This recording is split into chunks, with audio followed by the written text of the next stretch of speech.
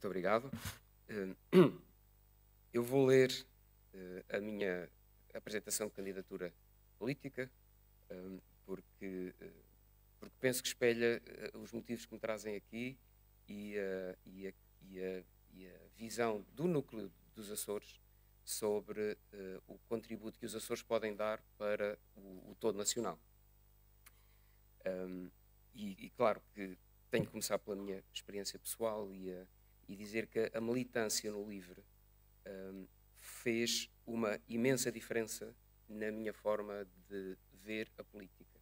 Um, Proporcionou-me uma oportunidade de aprender política um, com literalmente as mãos na massa e, uh, e, e, nesse processo amadurecer ideologicamente.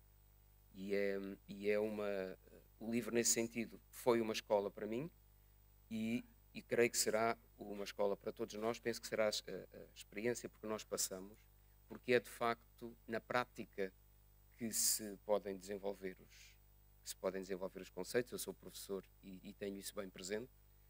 E de facto, uh, não se pode fazer política no sofá. A política faz-se no, no dia a dia, no contacto com os camaradas no, no, diálogo interno ao partido, no diálogo externo ao partido, no desafio constante todos os dias de ter que pensar o que é que eu acho sobre isto. E, portanto, pessoalmente, isso fez-me fez aprender bastante uh, e, e, e, e, colocar nesta posição de que ainda tenho muito para aprender. De modo que aquilo que eu venho trazer hoje aqui, se calhar, é um retrato de onde é que eu estou neste momento. Uh, e, e, tenho que trazer aqui para esta audiência a, a palavra começa com C, o capitalismo. Uh, eu vejo hoje, melhor do que vi em 2014, a forma como é o predomínio de, do sistema ideológico uh, capitalista que, uh, que é a causa dos problemas existenciais que nós temos hoje. E, e digo existenciais no sentido literal da palavra, da própria existência se não da espécie humana, mas seguramente da, da sociedade como nós a conhecemos hoje. Eh, é a causa das migrações, é a causa das fomes, é a causa das guerras, é a causa, falando agora da natureza, da desflorestação galopante, do colapso da biodiversidade e, evidentemente, do caos climático. Eu eh, acredito também que há alternativa a este sistema. Que, há alternativa, que, não, que não é fatal que eh, nós tenhamos que ter uma sociedade governada pelos valores da competição a todo custo, do lucro acima de tudo, e que, portanto, há espaço e é urgente que se crie esse espaço para alternativas diferentes de olhar para a nossa sociedade e de a estruturar. Esse é o meu contexto geral neste momento. E esse, essa, essas alternativas têm que ser construídas por nós próprios e têm que ser construídas uh, por aquilo que é o eixo central do programa do LIVRE, que é o de reforçar todas as formas de poder coletivo, de poder democrático. Temos que de democratizar a política e daí falarmos tanto, na, na por exemplo, na, na, criação de assembleias de cidadãos, uh, no reforço dos sistemas eleitorais de modo a que se tornem proporcionais e que, de facto, uh, uh, os, vo os, votos das pessoas contem, mas temos que democratizar também a própria economia e, a, e, e daí as nossas medidas para estender, para trazer, a, para trazer a economia para o âmbito do discurso político. Eu candidato-me pelo Círculo dos Açores, vivo, vivo nos Açores há 35 anos e sei ver nos Açores para lá da propaganda. Uh, eu sei ver, por exemplo, que o verde das paisagens, das nossas paisagens, desculpa, uh, que o verde das nossas paisagens uh, esconde uma atroz perda da biodiversidade. Esconde o uso destrutivo de práticas agrícolas e pecuárias e que tudo isto é encorajado pelos sucessivos governos regionais e que tem sido apoiado financeiramente por verbas comunitárias.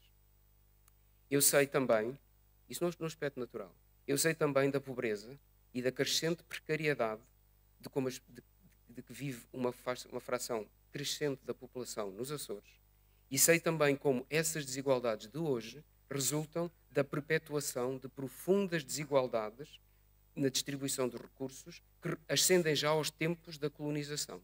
Portanto, é, um, é um processo histórico que não começou agora, mas que está, obviamente, agora a ser muito agravado e que não pode ser escondido pelo, pela, pela retórica de que, eh, de, de, por exemplo, do turismo e de que o turismo vai resolver os problemas económicos do, do, do, dos Açores. Os Açores trazem também uma, uma noção da fragilidade de todo o nosso sistema, eh, até de abastecimento de alimentos. Portanto, eu sei, por viver lá, que, esse, que o sistema que nós temos de um modo de vida dependente de produtos importados coloca literalmente as, eh, a vida dos açorianos dependente das contingências do tráfego internacional e nacional de mercadorias, eh, à mercê da resistência das nossas infraestruturas às próprias tempestades. As pessoas no, na, na, Ilha das Flores, por exemplo, uh, apanharam um susto terrível há dois anos, com quando uma tempestade, o Lorenzo, destruiu o porto. Uh, e, a, e, a, e, pronto, as, as, Ilhas das Flores e, sobretudo, a Ilha do Corvo uh, têm muita consciência da, da, fragilidade e da dependência que têm do exterior, mas esta tempestade não foi, não foi, nós sabemos como, não foi um caso único, nós sabemos que tempestades como a, como a Lourenço, que destruiu o Porto das Flores, vão, vão voltar a acontecer, vão acontecer com maior frequência e vão acontecer com mais intensidade. E, portanto, para ilhas que dependem do tráfego marítimo para, para a sua subsistência, isto coloca um problema sério. Um, eu sei também uh, coisas positivas.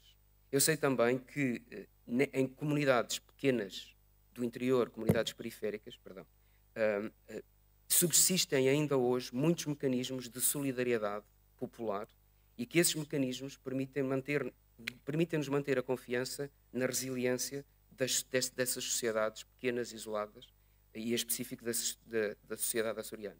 No entanto, a sustentabilidade não é opcional nos Açores.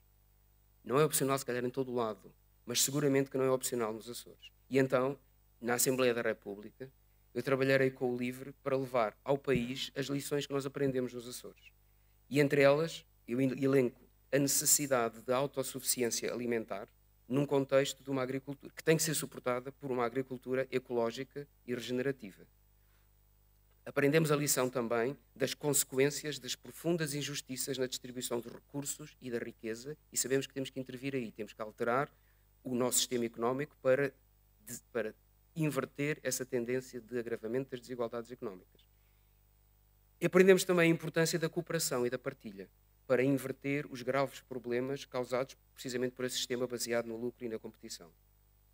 O programa do LIVRE elenca todos estes nossos objetivos. A nossa visão desde os Açores irá ajudar a estabelecer as prioridades. Muito obrigado.